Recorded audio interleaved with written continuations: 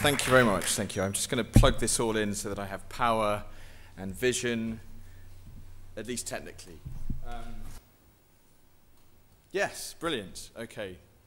Well, thank you very much for um, having me here and, and staying. I give um, talks about guerrilla gardening to all sorts of different audiences, um, to horticultural clubs and, and architects and students uh, and all sorts. So um, I, I have tailored this to, to the audience that I believe is out there and uh, whoever might be watching us um, online.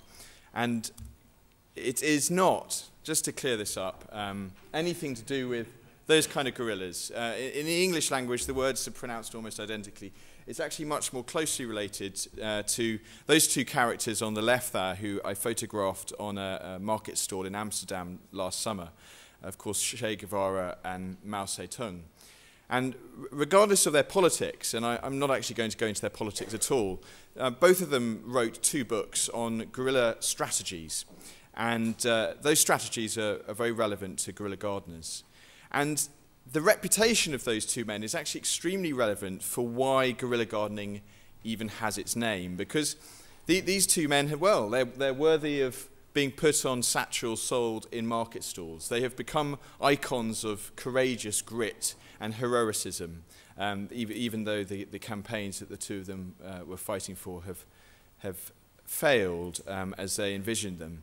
And, and they are icons in that way, and as a result, the word guerrilla is used to describe everything from knitting to comme des garçons shops to spontaneous restaurants. It's a word that's uh, massively overused, and, and my background in, in advertising um, is, is um, guilty or um, responsible for, for that as well.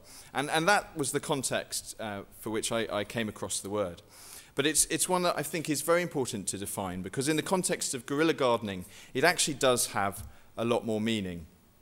This is, this is what most people think of guerrilla gardening. Uh, here's some more images. It's people um, generally in the evening when you're not face to face with potential contractors and authorities uh, going out there and transforming usually public land, sometimes private, usually neglected land, but by no means uh, always, and just growing stuff, whether it's for beautification or whether it's actually for food production. And I mapped out in the, the front of my book hotspots. Well, frankly, th this map is pretty meaningless. These are the references in the book um, that, that I cover. But actually, guerrilla gardening is, is happening all over the place, even if people don't use that term, and it's been going on for hundreds of years. It's a pretty simple act of going out there and gardening if you don't happen to own the deeds or have permission for the land. But it's become, it's become much more popular recently because I think the issues um, behind why people do it now are becoming um, greater. In fact, that's why we're here today in, in some ways. And the media have played a part in that. They've, they picked up on my blog, um, they've picked up on other people's blogs, and here are some headlines um, from, from the last few years um, reporting, thankfully, uh, the movement in, in pretty supportive and, and quite light-hearted um, terms, uh, spreading, spreading the idea further around. And it's not just the conventional media as well. The, the informal media is also spreading the message. Uh, this is um, some uh, graffiti art in San Francisco, I believe. So back to the word guerrilla. It's actually Napoleon who is the man that triggered the guerrilla response. He was invading uh, what is now Spain and Portugal in 1813, the, I the Iberian Peninsula Wars. And it was a response by the local population um, that uh, gives the word guerrilla. They were largely farmers, and they were to there to protect their land and their, their crops and their livelihoods from these imperialistic forces going in there thinking they know better how to run a country and what to do.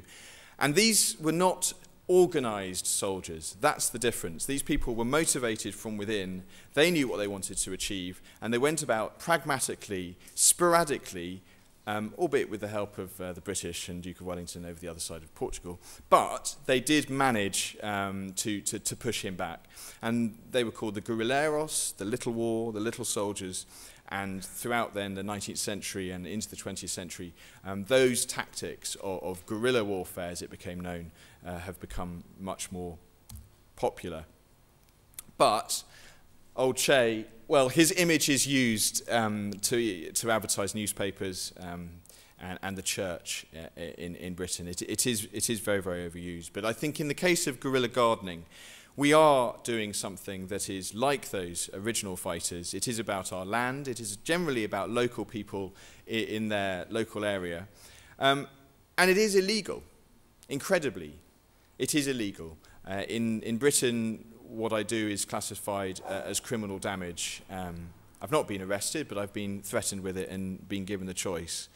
And the, the authorities' response is usually uh, turning a blind eye um, or sort of admitting a sense of confusion. It puts them in a difficult position because if you take the activity of guerrilla gardening to a logical conclusion, uh, it is anarchy. People just seizing land, thinking they know what's best for it, without any discussion uh, beforehand. But um, we're a long way from that at the moment, and in my experience and, and the guerrilla gardeners I've met, what we do is actually a step towards permission and legality and recognition and legitimization. It is that action rather than the conversation that um, gets us there and shows, shows people what can be achieved.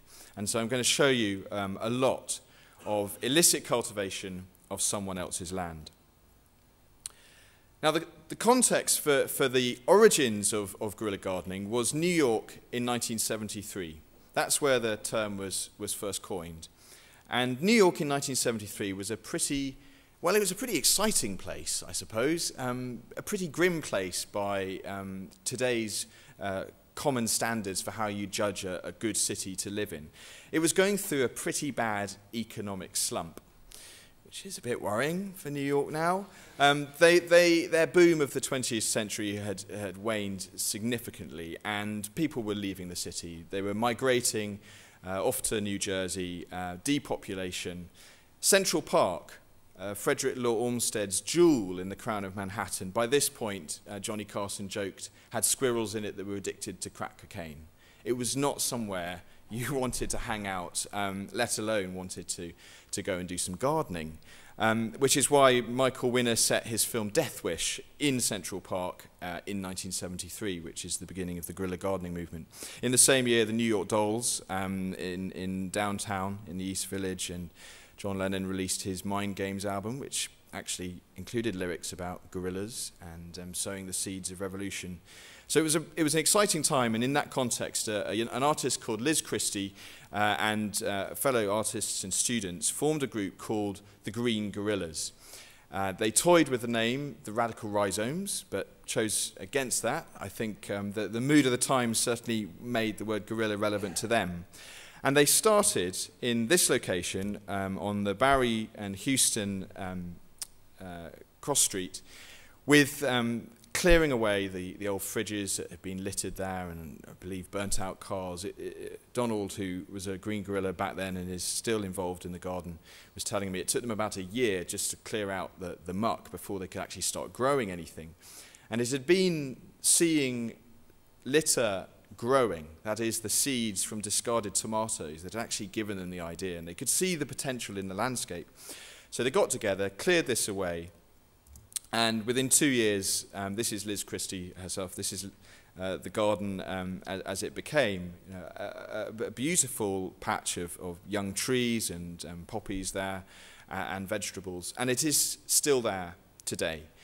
And the path between that first illicit act and 35 years on um, has been pretty bumpy. In fact, when I went to visit there two years ago, the, the place had only just um, saved itself from massive redevelopment because New York is a very, very different place today. Um, population's been increasing, land pressures are immense. And they'd got there and they stayed there this long uh, because after about a year and a half, uh, the city authorities saw what they were doing and thought, this is fantastic. We don't have any money as it is. I mean, at this point, New York was paper thin away from declaring bankruptcy. And they embraced the, the volunteers. They said, look, you can, you can do this, um, pay us a dollar a year rent. And uh, the land actually was private. But because the landowner had abandoned it and he wasn't paying his sanitation taxes, the city was able to take it back as theirs.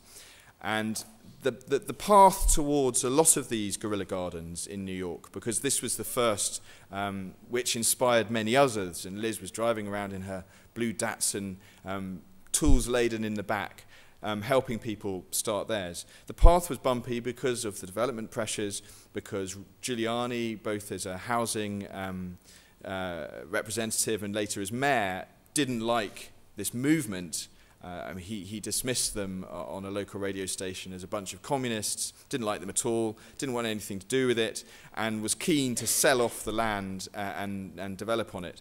But when Bloomberg came in, the land of 600 of these gardens was handed over to the Parks Department, and they are now treasured as, as miniature little green oases in the city that, of course, bring many other benefits um, uh, beyond just the, the plants themselves, benefits to the people. Now, briefly, my story is only four years old, and I was unaware of any of this history or even the term. Um, I moved to this flat. I still live there in uh, the Elephant and Castle district of London. Uh, as you can see, I don't have a garden up there. Um, but I, I missed gardening. I grew up in the southwest of Britain. I'd gardened as a kid. I'd gardened previously in London. I'd had window boxes. But I'd never been so involved as to think, well, I can't live anywhere unless I have my own garden. It occurred to me living here that right outside uh, in the neighbourhood, in the public beds that in theory were meant to be being looked after by Southwark Council, there was the potential for me to just make my own garden. It was as, as simple as that, a, a, an act of um, domestic pride um, as much as civic pride, and it was not about um, uh, doing anything more than just making my garden and recording online how that garden went. Uh, you can see there on the top left-hand corner what it was like the first night I went down there. I, I added in some fairly um, unambitious cordyline australis and some cyclamen, quite popular with municipal planters in London, uh, and gradually added bits and pieces to it, cuttings that my mum gave me and, and friends passed on. We've got some sage in there that was being chucked out from a display at the festival hall, some Japanese anemone. And that went very well. I faced no um, opposition uh, at all. Uh, to be honest, the word guerrilla seemed rather an exaggeration at that time. Um, and I began blogging it. In fact, oh, I've got some more pictures here. Well, the garden spread. There's a lot more than just that little square by the front door. There's a great cascade of brick planters, and if anyone's in London, do go and see it. It's there, you know, by the roadside. So this was it um, more recently. And I set up this website just as my own blog um, of what I was doing. And over the subsequent year and a half, people came across it. Um, I came across uh, other people's uh, references to guerrilla gardening. I discovered there was a lot more going on out there. And it's now a pretty busy website. It's still my blog, and there's a community section on there um, with people contributing from, from around the world. There's a, board for the Netherlands, which I can't understand any of it because it's in Dutch. Um, although um, I, I am aware of guerrilla gardening going on in the Netherlands, and I, I visited um, a, a few guerrilla gardeners um, last summer, which I'll show you in a moment.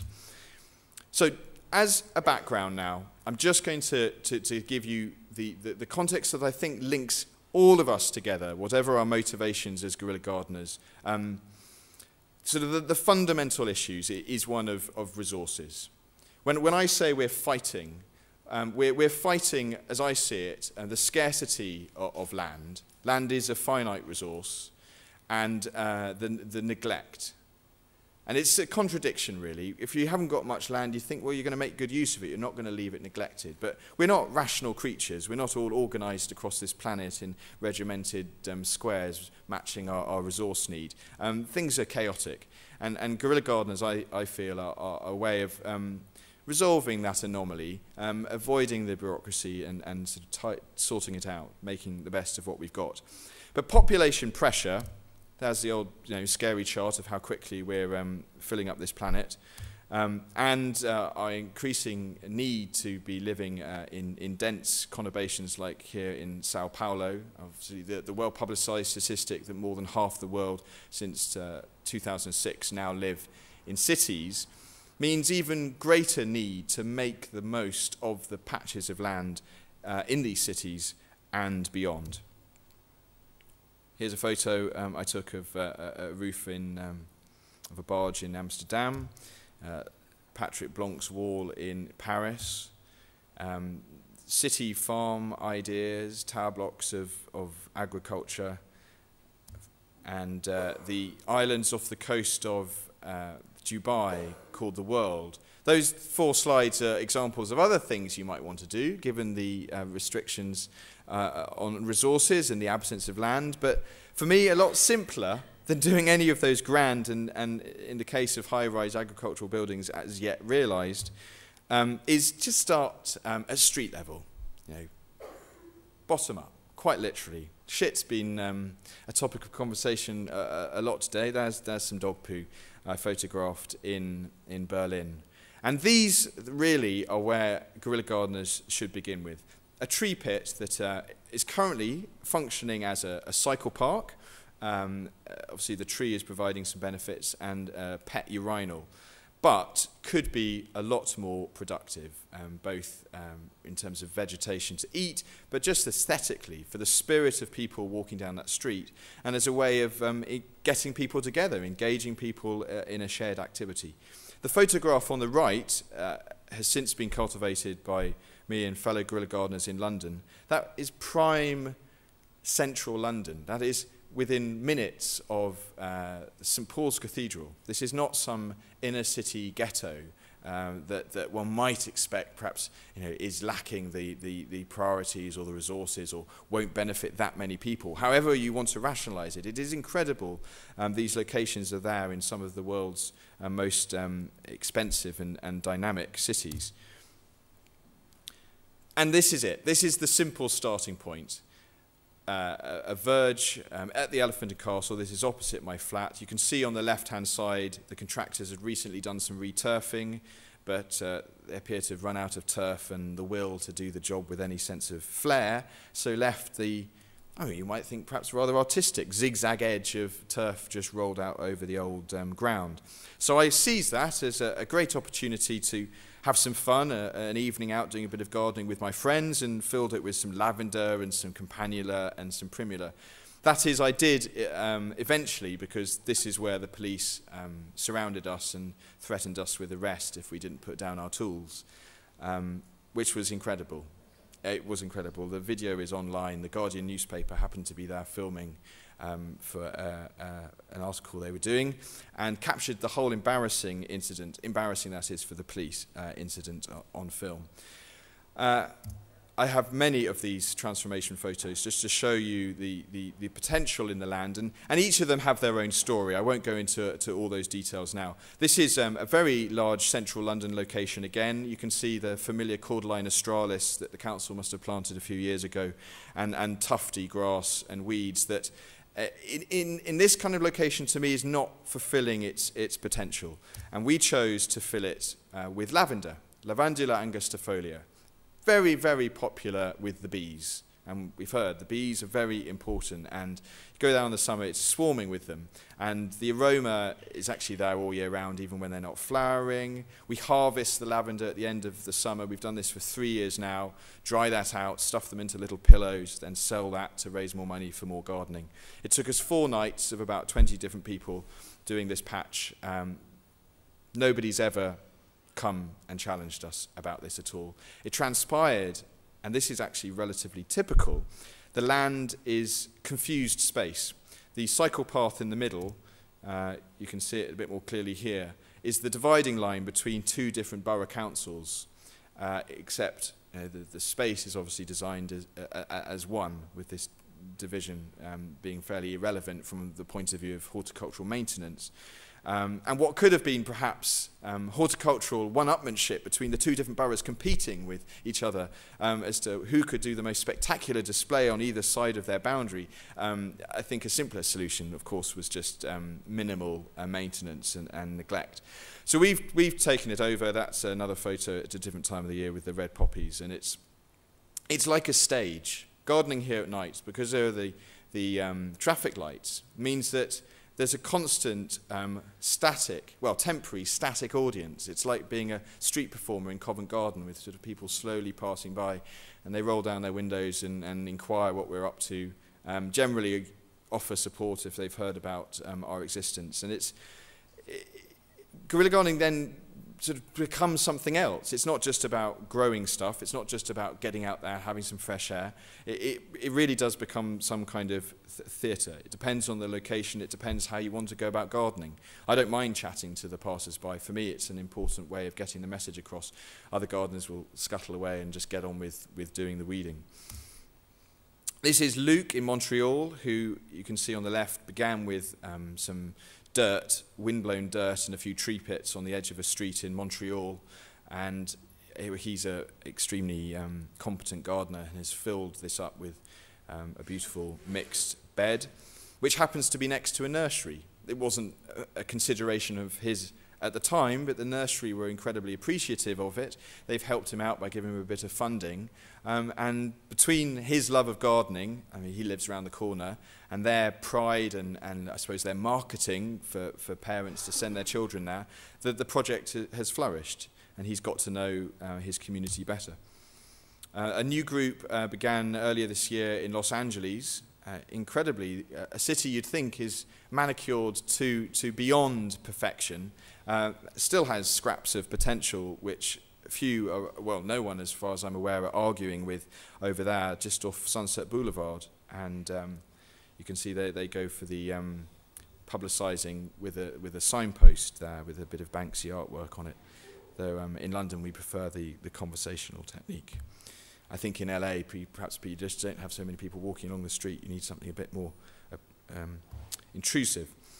I found these photos just this morning. Uh, I, I don't know who they are, but these are Dutch guerrilla gardeners. Um, I know one of, I think the Green Left Party in, in the Netherlands has been um, doing a lot to, to get people interested in guerrilla gardening, um, making both useful um, clothing points here. The high-vis jacket is extremely valuable for the guerrilla gardener because it's the universal uniform of someone in an official um, health and safety considering position. Um, the, the use of the eye masks is something I hadn't seen before, but perhaps it helps focusing the eyes. Um, here in Milan, we have um, some modest guerrilla gardening, not quite living up to the um, stylish reputation that I'd have expected from the, the capital of international fashion, but uh, a few lavender and rosemary and some geraniums, I think, being added around a, a rather um, roughly installed plant, a tree there. In, I think this is in Brisbane, it's certainly in Australia somewhere. Uh, Nisaba is the name she goes by, has been dumping gold tyres around and using those to plant in along the nature strips. In Chicago, again, the, the classic nocturnal tree pit transformation. And in uh, London and in Santa Barbara, I think they're both tree pits. I, I show uh, Sean on the left because he is actually partially sighted. That doesn't stop him. So if anyone out there is tempted to, to, to, to get guerrilla gardening and is thinking of excuses, don't let lack of vision get in the way. It's not just uh, formal planting and, and neat little beds of, of herbaceous plants. Uh, in England, there's the wild flower meadow movement that's gaining popularity. In fact, I know this is a, a big deal in Germany as well. Um, Britta there uh, transformed a traffic island by sowing that meadow uh, in, two, in 97 and 2003, I think. In Toronto, the Toronto, the Public Space Committee, who are a group of activists who get involved in a wide range of different urban issues, whether it's raising awareness of the underground rivers, um, whether it's about removing the hurricane fencing that a lot of people put around their gardens and is, is considered actually pretty unnecessary. Uh, they also have a guerrilla gardening wing and in the spring um, go around planting, one year it was marigolds, last year uh, I think it was um, busy lizzies a graffiti artist in Toronto there with um, his boxes and in Mexico hanging baskets showing that actually you can take it off the land. In Plymouth, more transformation. In the countryside and in Brussels, check out Brussels farmer.blogspot.com, a very uh, active group who focus entirely on planting sunflowers, which are a, a, plant that is symbolic not only of, of the beautification of our cities, but is also a very productive plant um, for bird food, um, for spreads, for fuels, and they actually remove uh, lead from the ground as well. They're a good plant for detoxifying soils. we did the sunflower planting in May this year uh, in, a, in a high risk location, in a remarkably overgrown, bindweed ridden rosebed opposite the Houses of Parliament. A pretty quick um, dig this was. This is not a place we wanted to hang around very long. Planting seeds is, is ideal for that. Uh, it took as long to get this photo as it did to actually get the gardening done, I'm ashamed to say. But uh, propaganda is obviously an important part of what we do, and I'm glad to say that the sunflowers bloomed. Uh, it, was, it was heartening. Either the contractors who do mow around there uh, ignored them, or, or perhaps they, you know, they appreciated it and, and helped look after it. We went back a few times and weeded them, but it, it just shows you the potential is there, even in places where the pessimists would assume you could never get away with it. Okay, so that is a whistle stop review of the, the typical form of guerrilla gardening, but we're here to talk specifically about agriculture, and because the audience um, comes from a, a, particularly sort of design and academic background. I'm going to show you some of the, the, the more, um, well, the rarer stuff and, and some of the deeper stuff, including the history of guerrilla gardening, well beyond the word guerrilla even existing. What I'm talking about now is the illicit cultivation of someone else's land. And the man who, who I think is, is, is most famous for this and certainly lives on um, in all sorts of um, political writing is Gerard Winstanley, who was an Englishman, uh, actually a textile merchant, um, a pretty religious man, um, a prolific writer, who in 1649, and this is when we've just executed our king, we're, we're heading towards um, a republican state. It's a bit chaotic, really, and a lot of uh, writers, uh, thinkers um, were trying to map out what um, the ideal population and civilization and society should look like. Of course, the levelers were there. And then there was this group, the true levelers, who became known better as the diggers, who wanted uh, common resources for all. Communists bef bef before the word existed. Um, and on April the 1st, 1649, started planting vegetables in the common land outside a village in Surrey. Uh, at the time, a third of the country was common land. It was there to be grazed upon, but not to be cultivated. And initially, they faced very little opposition uh, at all, a bit of suspicion. And actually, the central government at the time, led by Lord Fairfax, had no problem with them at all. He said, leave it to the local authorities. But um, rather like my experience of local authorities, they, they were perhaps a bit less sympathetic. And after a year and a half, despite encouraging other people to be growing vegetables around the southeast, uh, the, the attacks, the imprisonments, the court cases um, wore him down and, and, and he gave up. But his writing lives on today and has inspired a quite a wide range of different activist groups. America has their own um, original guerrilla gardener, Johnny Appleseed Chapman, who, uh, in a more traditionally American way, did it for, for business reasons. He was um, a pioneering orchard man who went ahead into the, the wilderness, um, befriended the, the uh, Native Americans, and started planting um, apple trees in, in what um, appeared to be wilderness, and it, it was, but by this point had already been assigned um, in title deed to the landowners back on the east coast. But John Chapman wasn't worrying about that. He got his apple trees in there, and then as the settlers moved forwards, he then sold on the young trees to them. So guerrilla gardening, in terms of what we get out of it, what we're not fighting against, but what we're getting out of it is there's, of course, beautification, is the food, is the community spirit, are the health benefits of the plants themselves, but also the activity of doing it. We've seen there John um, Chapman and his business motivations, and those are still reflected today. And as a form of expression, and as, as a, a media to use, plants are a, a very potent um, form of expression and, and increasingly popular with, with artists.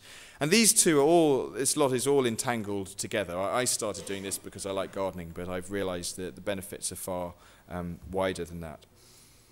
So to look specifically at food, well, there's Gerard Winstanley and there's 17th century Britain, and the, the equivalent is actually the less developed countries today. The, the world in, in those parts uh, is not so different. Um, in Uganda, uh, a guerrilla gardener um, visited there last spring and took these photos for me. Uh, and I said, look, if you can find informal cultivation, see what you can, you know, see what you can find, see what you can photograph, see what you can find out from people. And of course, it's all over the place. These roadside verges are, are left um, wide for potential road expansion, but uh, farmers both extend their crops into it, and those who, who are lucky, well, unfortunate enough not to actually have their own land, have been planting maize um, informally uh, along the roadsides. Um, there's another image. And uh, some were, well, were not very keen to have their photos taken, or, or obviously they, they weren't necessarily all around. But here, uh, Mama Afua was very happy to show off the onions that she'd been planting in, in, in her village, um, despite the fact that that is, that is not her land. Um, it's an old plantation property that has, has become neglected, and the plantation is no longer as active as it once was. And actually, as a place for mass guerrilla gardening, although I think they, they, they might feel uncomfortable with that term, uh, in Latin America, there are swathes of plantations that the agribusinesses have decided are uh, beyond uh, economic um, workability. They're no longer viable. And they're abandoned. And some of these uh, are actually um, part of co communities. They're not just the fields, but they, they have villages and uh, schools and churches that are all part of the estate. And when the plantations get closed down, the, the people um, are, are not just jobless, but, but landless. And they resist at times. And this photo taken by Sebastião Salgado is of an invasion in, in Brazil of the uh, Panua, I think, uh, estate, um, which was organized by the um, MST movement, where they set up home and cultivate. You can see their tools there. And in America, in New York, uh, the guerrilla gardening, although began more as a community and artistic project, uh, grew in popularity amongst uh, Central and South American communities who uh, came to New York with the skills to really grow food in a way that a lot of the, the, the students at the time didn't naturally have. They hadn't grown up with that. They'd grown up with going to the supermarket. And guerrilla gardening for them and subsequently community gardening became a way of being able to grow the food that they couldn't buy in New York because the, the species that um, were, were available were, were not native. And uh, that has grown in popularity. Here we have uh, a guerrilla garden, uh, a pretty famous one that was demolished in 1984 after Giuliani decided to build a tower block on top of it. That was uh, largely the work of um, one man called Adam Purple, who I'm going to read a little bit about in a moment. He created this uh, as um, an urban farm in, in downtown Manhattan and came to the, to the garden with um, quite a lot of spirituality as well, which you can see in the form he took. It's a more recent photo. I took these in New York uh, two years ago. We've got Adam on the left, who's a, an old-timer green guerrilla. He was there in the 70s, still growing capsicum in his community garden in Hell's Kitchen. And now over in uh, East New York, which is not gentrified in the way Manhattan is now, um, but it's still a very poor district. And this is uh, Johanna, uh, who is a redundant um, IT worker. Um, she has an incredible garden, a legitimized one now, uh, where um, she's very proud to show off her marrows. In Britain, there is a growing interest now in, in growing food and doing so as guerrilla gardeners. This, this is really happened in, in the last year or so. I think rising food prices, rising fuel prices have, have made the, the need and the interest um, and the fashionability of growing your own vegetables uh, increasingly popular. Um, a couple of celebrity chefs are, are morphing into celebrity vegetable growers, um, it, which I think is always a good barometer of, of, of what's popular. Look at, look at the TV listings. And here, uh, a symbolic attempt um, in Crewkerne to grow a cornfield outside the local supermarket uh, in what was just a scrappy tree pit uh, is, is one relatively recent example. Unfortunately, in this context, the bright young shoots of the corn uh, were much more attractive as a, a lawn and, and Lily and Noor, who helped plant it here with their dad, to demonstrate that, that functionality um, well by, by sitting on it. So unfortunately, the loaf of bread that their dad hoped to make from the, the field uh, never, never arose. But it was, a, it was a symbolic gesture and uh, a thoughtful one. Uh, so I suppose related to that um, is uh, the, the sort of foraging, the, the collection, the collecting of uh, produce in cities, even if you haven't planted it yourself. And uh, fallen fruit in uh, Los Angeles uh, are, are prominent within this movement. There's a similar group in Sheffield.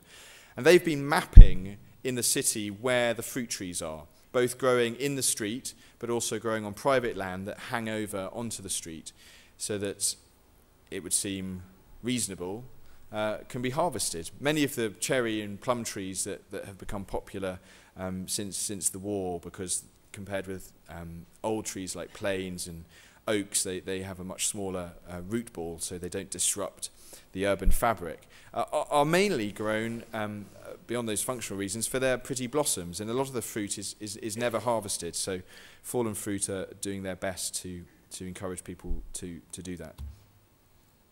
Uh, produce of another kind um, is uh, also popular amongst some guerrilla gardeners. This photo um, is in uh, Tübingen.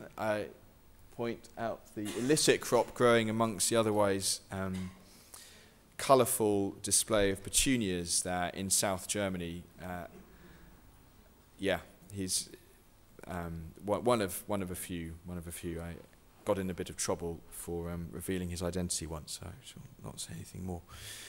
Um, in yesterday's newspaper, um, the, the, uh, the overlap, I suppose, of, of uh, agriculture, urbanism, and, and guerrilla activity um, hit the papers. Um, I'm not, not hugely familiar with the story. This is pretty hot off the press, so I've just pasted this in.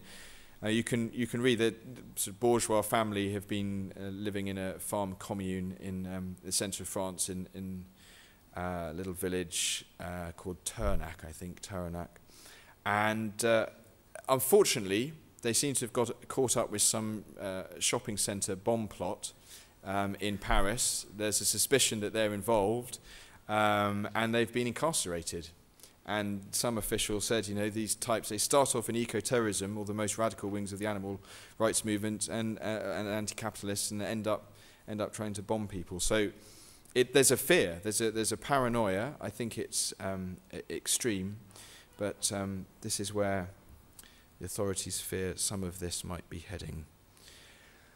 I'm glad to say that uh, other authorities um, have realised these issues are uh, important, and uh, just to demonstrate it's not all about anti-establishment, I can raise awareness here on behalf of the United Nations uh, Food and Agriculture Organization that uh, just under two years ago, they launched Food for Cities, which was reported at the time in militaristic terms as a new front in the battle against hunger and malnutrition. And where their focus has been is bringing uh, agricultural skills into the cities of less developed countries, um, creating uh, allotments in, in places like Bogota. Okay, now, as um, light relief um, I'm going to show you a few slides that are not about uh, agriculture and food growing, um, or, or indeed the core of the guerrilla gardening movement, but are pretty thought-provoking statements.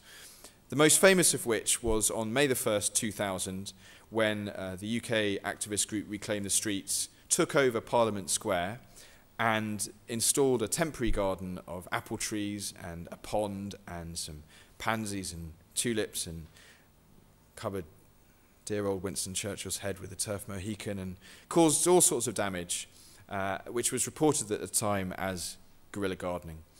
Uh, it's not gardening if gardening is about actually growing stuff. It's, it's, a, it's a low carbon flower arrangement, an alternative to using petrol bombs. It's much kinder to the environment. Um, so I, I, I think it takes, puts the movement in a, a bit of disrepute, but um, was widely reported. Similarly, £10,000 worth of damage caused after a hole was dug in a motorway back in 1996 um, by the same group who had a good time, you can see. Uh, much more uh, sophisticated and, in fact, far more popular now um, way of making exactly the same gesture of let's reclaim the streets from cars uh, is by the um, quite well-known group Rebar uh, in San Francisco, who did this first in September 2006 and have since done it um, in numerous cities across the USA and I believe in, in Europe as well. and simply, in fact, pay the parking meter. So you might say this isn't guerrilla activity. They pay the parking meter, roll out um, a, a, a turf park, install a bench, a tree, and provoke people in, into seeing their city in, in a completely new way. And were so provocative uh, and, and liked, in fact, that the following year, the mayor of San Francisco was quite happy for his parking space to be turfed over. Um, I don't think he seemed to see the sort of double standards in then rolling it up and putting his car back uh, the next day. He, he was sort of happy to go along with it as a one-off stunt. But I think the more of, of this kind of um, gesture, the, the, the more people can begin to really sense of, um, how cities could be different. Uh, another version of the same idea, uh, this I came across accidentally in, in Toronto. An old car has been filled to the roof uh, uh with mud and plants and turf was where the bonnet would be and uh, the, the boot at the back. And they got in trouble here. This, this was not done with a parking permit or parking, parking meter. So, yeah, so this was guerrilla. But like, like many um, guerrillas, they were able to get permission incredibly. Uh, they went to court about it, and it was declared uh, by the judge uh, a piece of public art. So it can stay. They're allowed to have it there for six months of the year. And then when it gets snowy in the winter, it has to be wheeled away. Uh, another form of guerrilla gardening here in Rotterdam. Uh, I don't know if Helmut's here. I, we've spoken on email, but we've not um, never met. Um, Helmut here is ad busting, uh, one of several guerrilla gardeners who use plants to uh, obstruct uh, commercial messages in the landscape. Also adopting the high-vis jacket approach, he uh, is planting a tree to obscure this um, billboard, um, though the tree was removed. Um, it was a, a long-term project. More successful was this brilliant uh, piece of guerrilla gardening by Sandy in Portland outside America's oldest Mercedes dealership. Uh, brilliant. You can see the before and after there. She just was felt inspired. She doesn't describe herself as a, an activist, but just, well, wanted to, to provoke and, and make the statement and, and raise a few thoughts. And did so incredibly successfully because that extra bit of box hedge that she matched up was there for 10 days. Mercedes just didn't notice it. Um, blind to their own corporate identity. Um, and when they did rip it up, uh, she spotted the box hedge dumped around the corner of the dealership with the bins, and so she dragged it back and put it back in place, and apparently it was there for another few days or so before they ripped it away, and she felt, well, she's, you know, she's made her, made her statement. Uh, Adbusters magazine have also got involved in this by giving away packets of ivy seeds on their, um, their magazine, though I don't know if anyone actually successfully achieved it. Now, the flip side of, of ad busting is when um, corporate um, advertisers jump on the bandwagon. And um, I won't mention them, but you can probably work out who they are. Um, this um, international footwear company um, approached me with a seven-page script of images lifted off my website saying, we want to film a, an advert to raise awareness of our tokenistic, they didn't use that word, tokenistic eco shoe. And I said, well, no, it doesn't really make sense, thanks. Um, not a good idea. But they went ahead anyway and they employed some actors and did an ad um, that was on UK cinemas and did this billboard which was widely publicised um, in the style press as guerrilla gardening. Except that not only is it paid for advertising space, so it's certainly not guerrilla marketing even, but the plants were plastic. I, I really, I couldn't believe it. I, I cycled over to look at this thing. They, they'd sent me, as part of this pack, trying to get me involved in their, their scheme, they'd sent me this artist's impression of what this would look like. I couldn't, it was just, it was plastic to advertise a low plastic shoe.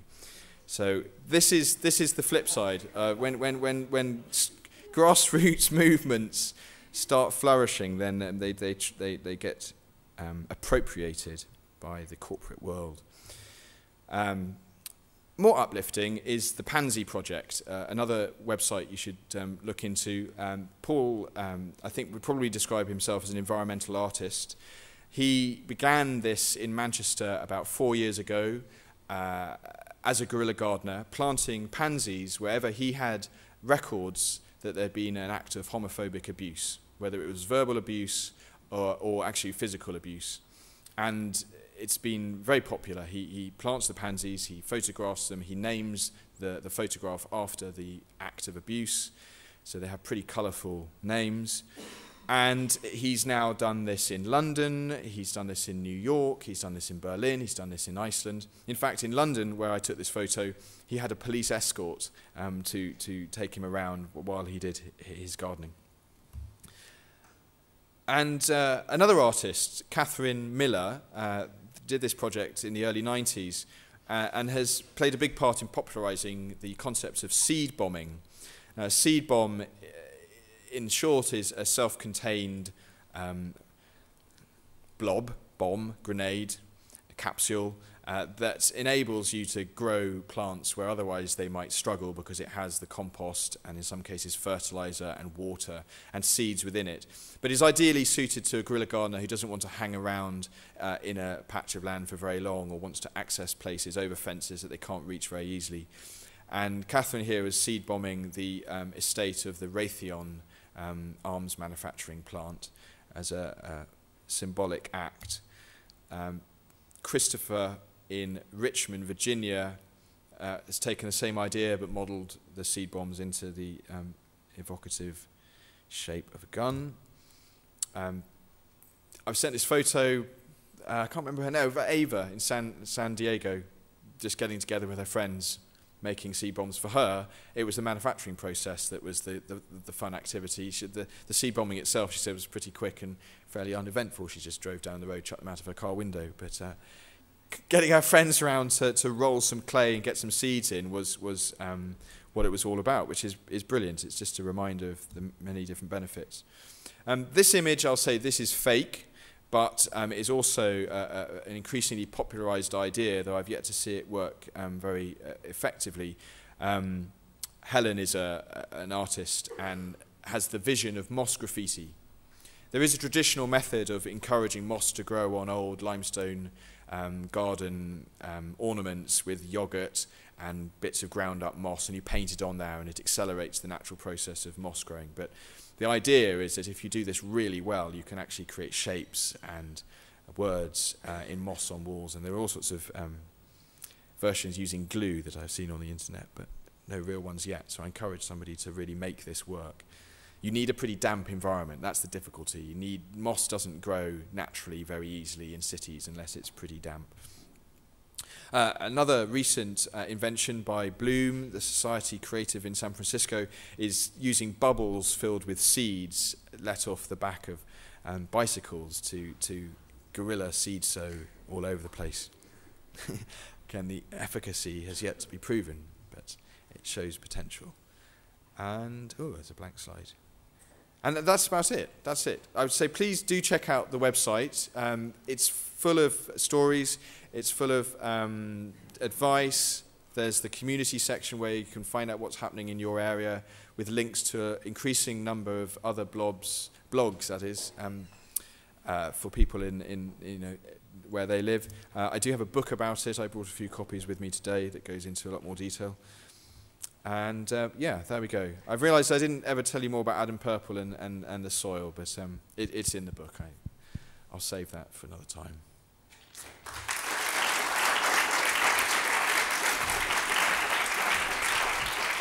Thank you, Richard.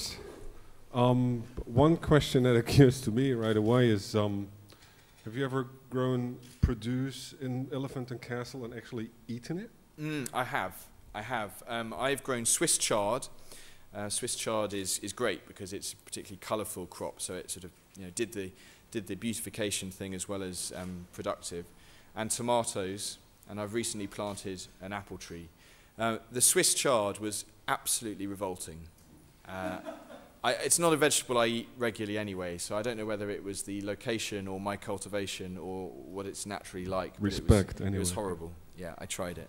I was advised right. strongly against it.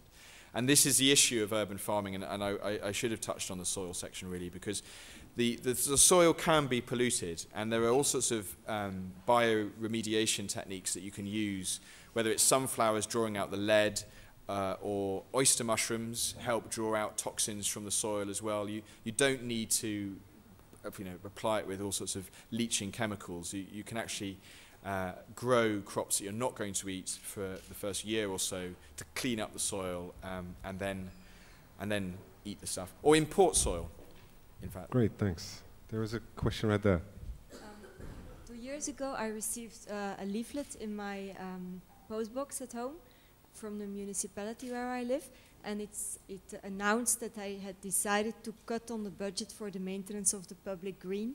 And the leaflet showed pictures of three different levels of maintenance, with uh, the lowest level showing really dirty plots with um, can cans of Coca-Cola in it and uh, doggy poop and things like that in it. And the best one, or the highest level, was like what you would expect from the public green, well-maintained, healthy plants and everything.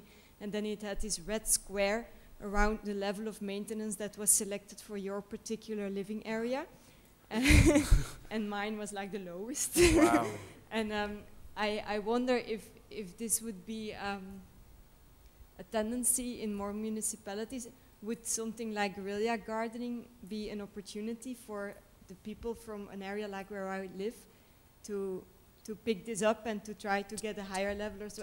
De- definitely, definitely. And if you think that the context where guerrilla gardening seems to flourish most, if, if you think of um, you know, European cities, is one of two extremes. Either when there are cutbacks, whether it's economic decline, um, cities lacking funds, deprived areas, such as Berlin uh, in recent years, where there's been a lot of guerrilla gardening going on, uh, of a scale that is more like what New York was was in the early 70s. These are big community gardens being, being built, although um, the Rosa Rose Garden, which is quite well publicized, unfortunately has just been demolished.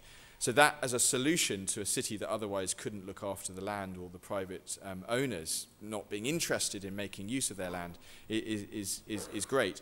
The other extreme, and this was my context, was London, until recently a booming city, land prices going through the roof, me not being able to afford a house with a garden, making use of the scraps of land that fall through the, the system, that are lost in, in confusion between boundaries. And enlightened cities are recognizing that if they can encourage um, and, or just permit their populations to, to look after the public space, then they're onto a winner because their limited resources can be put into doing things that local people don't necessarily have the skills for. And that's what's happened in, in New York. The community gardening movement uh, was embraced eventually. Uh, in Vancouver as well, uh, guerrilla gardening on nature strips uh, it, it relatively um, rapidly encouraged um, the Vancouver Green Streets Initiative, where they now provide guidelines uh, for what, what you can do, but it's pretty much a blank canvas.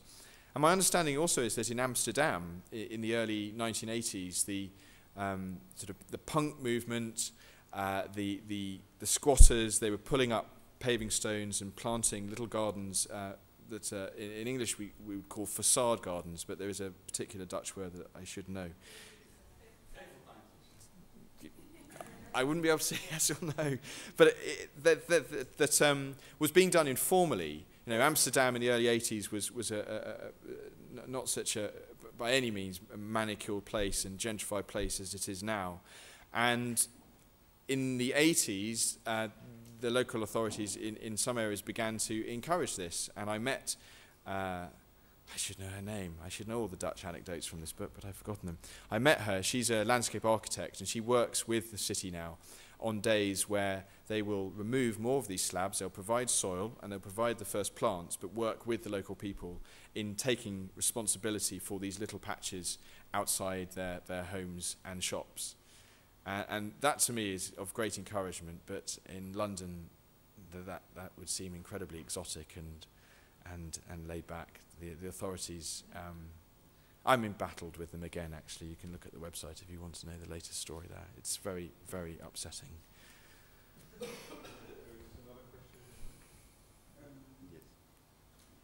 Um, So he's got the, he's got the microphone. Um, now I think that is a bit uh, fashioned uh, guerrilla movement in the world. No? And the political movement of the guerrilla uh, tried to take the power directly. Uh, Harvard teach uh, guerrilla wars in the economy, how to occupy uh, the spaces that the corporations cannot occupy because they are so big and the little spaces that there are, there are in, in the big spaces are uh, occupied by the guerrilla. I think that when the, the legality of the guerrilla uh, take the place, uh, in one sense, uh, this movement lose the power. When you said that you are trying to be legal, no? or something like this, Yeah. I think that the most strong effect of your movement is uh, just the illegality because has the, the shock effect. Mm. And when this activity will be regulated by the system, because it is legal, uh, you will have problems, you will have uh, some efficient work to do. Mm. Then, what do you, do you think about it? I, I, I, I think, think I think we're in agreement. Um, wh- what I should, should, should, clarify is that um, when I say trying to go legal, I, I, well, I don't mean that. What, I, I'm saying is I'm accepting if somebody wants to legalize what I'm doing, I, that's fine. I, I will accept that. But w- the re- regulations that may come with that, um, I, I, I resist. And th- this, the, I think that the, best example is in New York because it's where the guerrilla gardening has, has been going on longest. And I, talking to Adam about it and Donald, they, they said that there was a, a struggle, an internal struggle within the movement as to how legitimate they could go. And, and some people were adamant that any kind of dialogue or cooperation with the authorities uh, was incompatible, that it wouldn't work. Um, but the, the alternative was to say, this is what we do, accept it. This is what we do, accept it. We will do it within these spaces, and you can support us, but this is what we want. So it's about winning um, the argument, uh, the territory, on your terms. And the, the reason why I think, therefore, guerrilla gardening is the way to, to start it and to go about it. And in my case, I, I actually only have permission in one location. I have never sought permission in any location. It's just that in that particular place, um, my local housing office came to me, um, having started to garden there and destroy my garden, to, to negotiate. Um, having you know, quite literally dropped a few bombs, um, we had to come to the negotiating table, and we're, we're still there. But I, I, I don't have sorry I don't I don't have permission in those other places. But my, my point is, if you start by actually doing it, by showing somebody this is what I want to achieve, and by doing it, and by sticking at it, and by being committed, then they're not questioning your dreams, they're not questioning your, your hopes, they're questioning something that is actually there and can be discussed and can be uh, involve a lot more people. I mean, the, the, the one place where I do have permission, they said to me, you would never have got it had you come to us first and discussed it, because they wouldn't have trusted me to, to look after it, and I wouldn't have been able to win round my neighbours, um, because who were they to believe that I would be able to turn this into some beautiful garden? They don't need to believe it; they can see it there. So, I, I, I'm a, I'm a great believer in just just go and do it, and ideally, if you can do that without getting in anyone's face, which is why we do it in the evening, we're not trying to provoke that aggressively. Uh, we're, we're provoking gently and subtly and slowly in some cases as well. If you're planting these sunflower seeds and bulbs, it's, it's not an overnight transformation of shock and awe, although some guerrilla gardening is like that. It's very slow. Some people wouldn't even notice. You know, where do those sunflowers come from? They've taken three months to appear. Well, and let's not forget that there's also the element of taking the piss out of the notion of guerrilla here, right? Uh, I'm not saying there's no there's potential. A, there's a it, right? playfulness, and I, I, I, I, know some people are. Uh, well, in the German language, the word guerrilla has much more um, aggressive connotations, and I know um, two guerrilla gardeners uh, there who are very uncomfortable with the word. Obviously, Germany has a more recent history of guerrilla urban warfare, and they much more comfortable with the term um, pirate gardening, uh, gar- which in, in, in English would sound silly. We don't think of ourselves as pirates at all. And we had a long discussion over dinner about is it pirates or gorillas? But um, we, we agreed to, to, to differ on that. All right, there's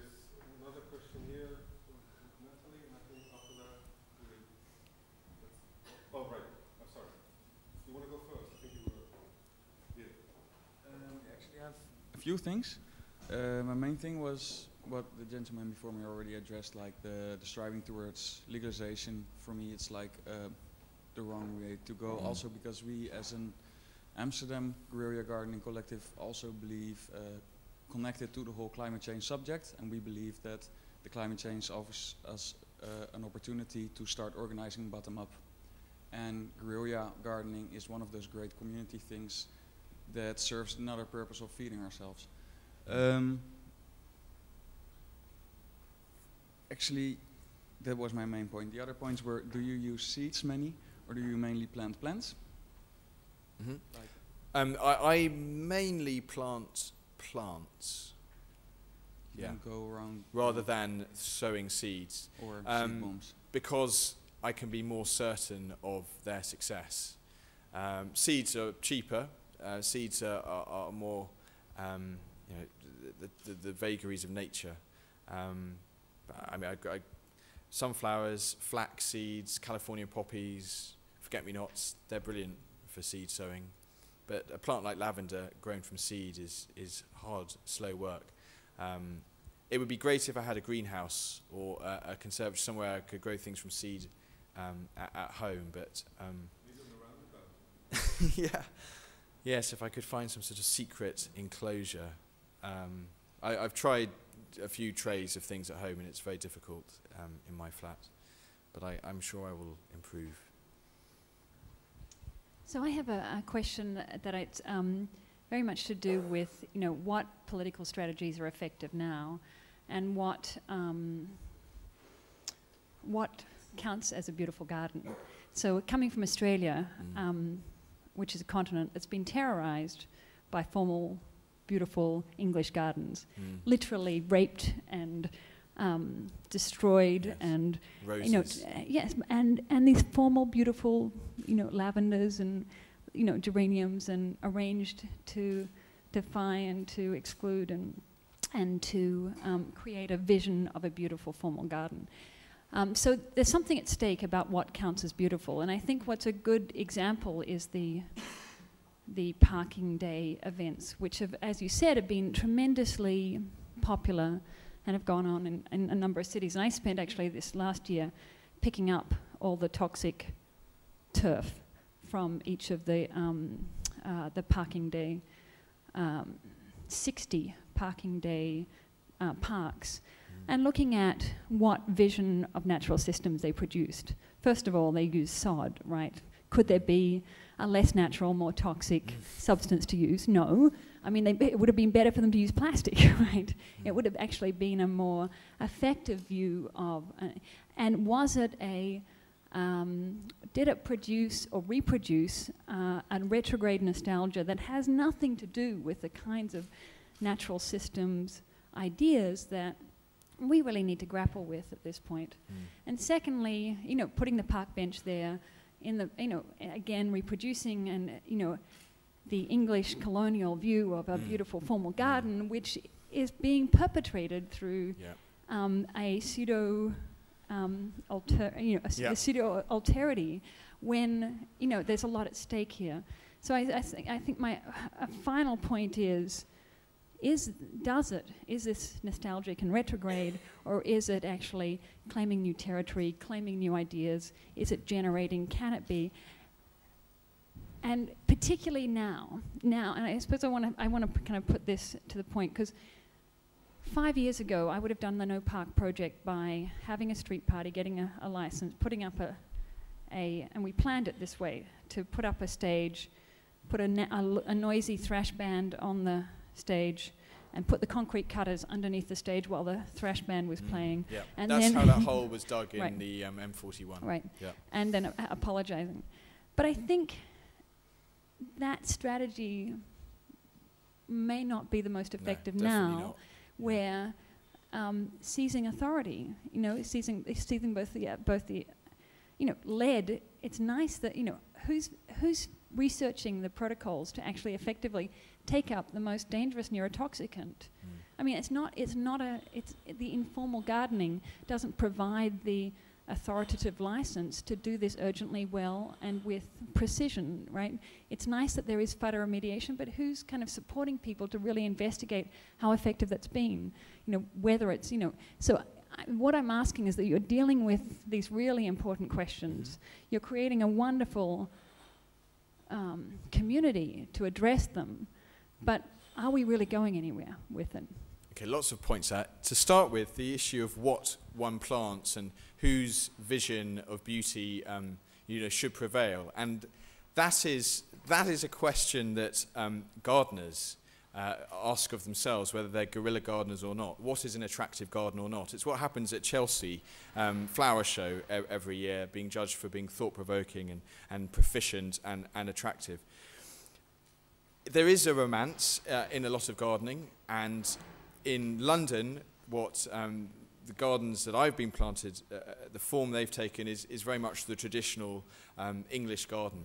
But importantly, not traditional, what is native to this particular location, but particularly what is naturally actually able to grow here in this urban environment. So lavender, whilst being considered traditionally English, is not native to England at all. It's a Mediterranean plant and ideally suited to the dry, um, inhospitable, um, uh, warm, um, exhaust-ridden environments of London streets and provides fragrance and something that is visibly growing to people all year round in a way that um, herbaceous plants, for example, wouldn't. Uh, I, I'm fascinated by what people choose to plant in, in, in different parts of the world and uh, a recent visit to South Africa and I, I know from guerrilla gardeners in Australia have both shown me that returning to native plants that are not the um, thirsty uh, European um, immigrants that were popular uh, a, few years ago, a return to native plants not only is far more sustainable, and the, the, the central reservations in Johannesburg now are full of um, beautiful uh, South African plants rather than the rose beds. Um, it's not only more sustainable, but it's a, a demonstration of a national identity and a sense of, of what we are.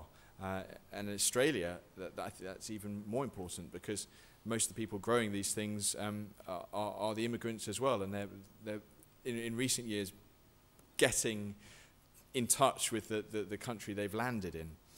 Um, so that, in terms of what you choose to grow, I think it's, it's a big discussion in the same way it is for, for, for other gardeners, but you, you, you need to be sensitive to it. It isn't about imposing um, English um, flower beds all, all around the world. As for the lawn, well, the lawn is the tarmac of the horticultural world. Um, lawn mowers are, are more pollutive um, th than cars. I can't remember the statistic, but it, lawns across America, and read um, Heather Flores' book, um, Food Not Lawns, if you want the full horror stories. But the chemicals that people pour onto them, the mowing, to get that um, English perfection is uh, a, a pretty obscene, really. And I agree that the, the, the rebar project, um, and there was another um, funded by the Mayor of London project to cover Trafalgar Square with turf for one week, are, are, are troublesome. Because although they uh, address one point uh, in, a, in a populist and thought-provoking way of saying, oh, look, we don't need to have cars here, we could have a garden, they choose the iconic and yet very pollutive form of uh, the lawn to make that point, which I, I think um, is changing. It was, it was great to see your use of the same canvas um, was, was addressing those issues, even if not explicitly. So I, th I think that's great. Um, in terms of our authority and, and, and how, how qualified are we to, to do this, well, I, to me, I don't think that's Im important. Uh, amateur gardeners um, can achieve a lot, even if their aims are, are, are not immense, and even if um, they, they don't have the, the, the, the academic background. Uh, partly, if you're guerrilla gardening, you're doing so in public. So I, I know from, from gardening now, people are assuming things about what we're doing, about our motivations, uh, about the form of our garden that were certainly not our intentions at all. So just being out there, uh, uh, as artists would know, you, you, you, people see things in, in your work that you, you didn't necessarily intend. And I, I, I think, I, mean, I don't know any, any guerrilla gardener who would see bioremediation as their primary aim for, for, for, for, for doing their activity. But if that's one of the many benefits that comes out of, of what they do, um, then that, that, is, that is to be encouraged. And, and I, I invite you to, to share your, your scientific background with the guerrilla gardening movement because there's a lot of enthusiasm out there, um, but um, uh, the more weight, the better. Hey, thank you, Richard. I think we you know, collected quite a bit of material that you know, we can use for the uh, discussion after the, the coffee break. Um, I mean, there is the question of, of, of politics and uh, the question of what it means, you know, to, to struggle, to come back to a term that Rene didn't like this morning. There's also the question of romanticism versus some, well, I think Bruce calls it spime wrangling, because of the fu fu future, futurist, uh, high-tech, uh, uh, adequate designing, whatever. Um, so, I mean, there is loads of stuff, and it would be great to see all of you back after the coffee break.